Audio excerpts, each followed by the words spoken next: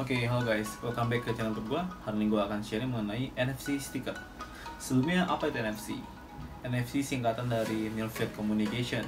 Mungkin yang kalian tahu biasa kan gunakan uh, HP kalian, terus pakai NFC untuk um, akhirnya beli saya top e-money di Tokopedia contohnya, ataupun uh, untuk mendeteksi kartu flash kalian uh, sisa berapa saldonya. Bisa juga uh, pas zaman dulu itu udah bisa dilakuin untuk transfer data between mobile apps dan juga masih banyak hal lagi. Contoh untuk um, akses ke dalam kartu uh, dalam ruangan menggunakan kartu dan masih banyak lagi caranya. Nah di sini gue akan fokusin untuk membahas uh, NFC sticker.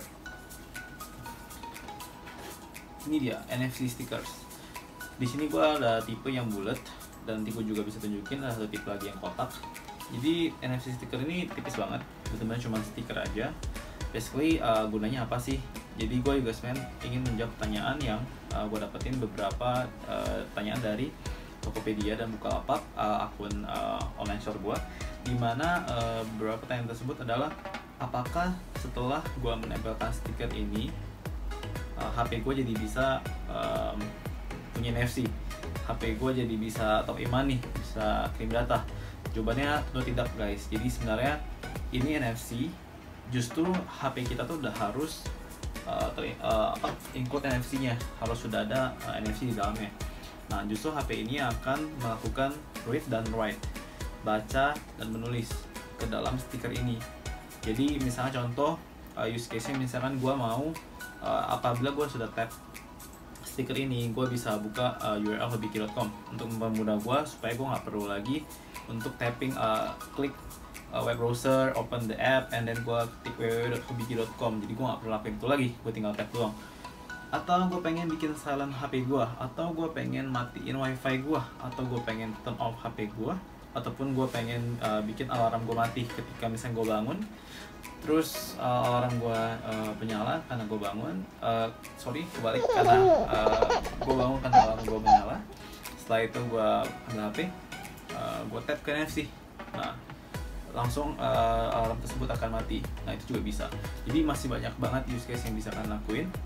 Nanti gue akan langsung demoin langsung. Oke. Okay? Nah um, stiker ini juga sebenarnya bebas ditempel ke mana pun. Stiker ini pun waterproof.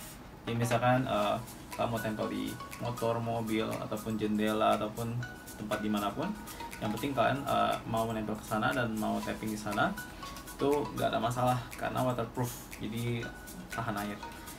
Oke, langsung aja kita demoin supaya kita lebih tahu langsung bagaimana cara gunanya. Yuks. Oke, pertama-tama langsung aja gue ulangin dulu benar-benar yang nggak diperluin di sini. Jadi ini dia. Pertama kalian harus ada satu handphone yang sudah include NFC di dalamnya. Di sini gue pakai LG G5. And then the next step kita harus ke Play Store. Cari aplikasi namanya NFC Tools kalian bisa baca dulu aplikasi ini di develop oleh, Wakdev. Ada juga uh, videonya dan tutorialnya juga di sini. Dan ratingnya 4 cukup bagus. Selanjutnya langsung aja kita install. Terakhir update itu 12 Januari 2019 dan update terakhir kalian bisa lihat detailnya di sini juga. Oke. Okay. size nya 4,7 MB which is gak gitu besar lah ya Oke, kita tunggu aja downloadnya.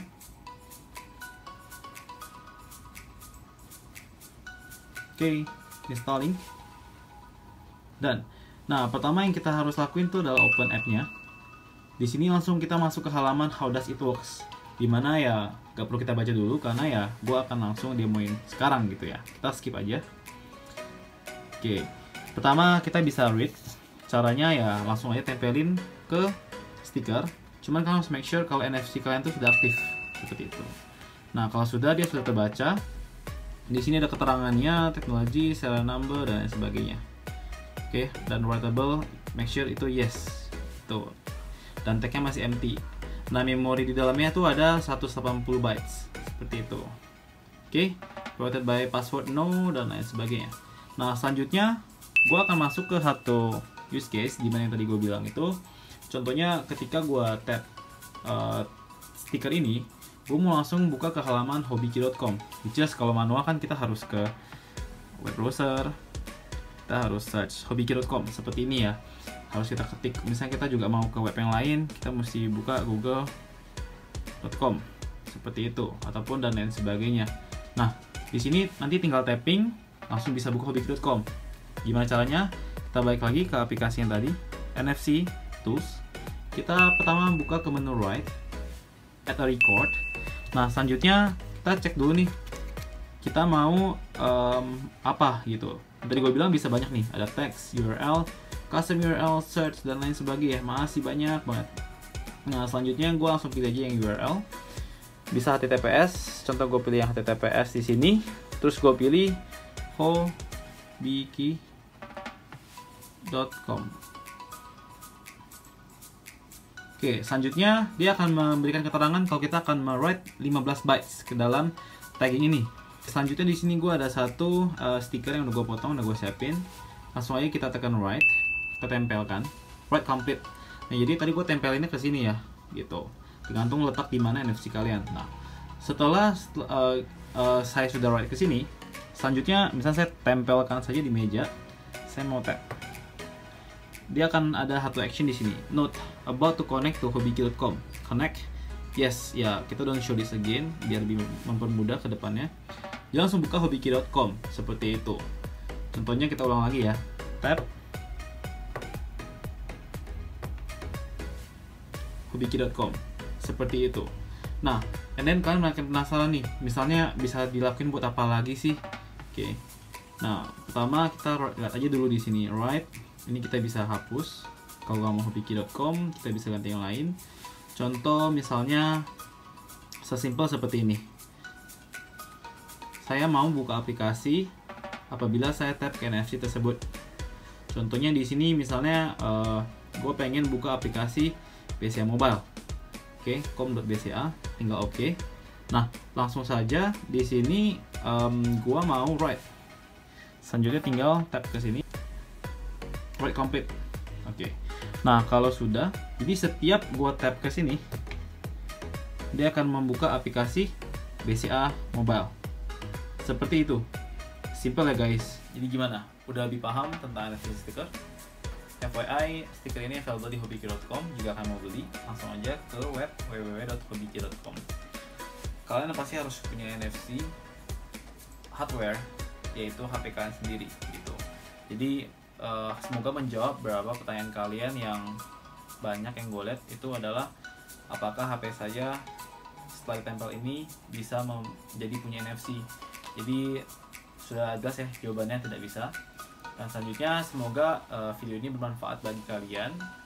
Dan semoga NFC ini juga berguna bagi kalian. Karena kalau misalnya kalian bisa memanfaatkan NFC ini ya akan benar-benar membantu kalian banget gak perlu banyak ngelakuin tas manual di dalam aplikasi cukup tap ke stiker ini kalian sudah bisa langsung akses ke tas yang memang kalian mau lakuin gitu oke okay.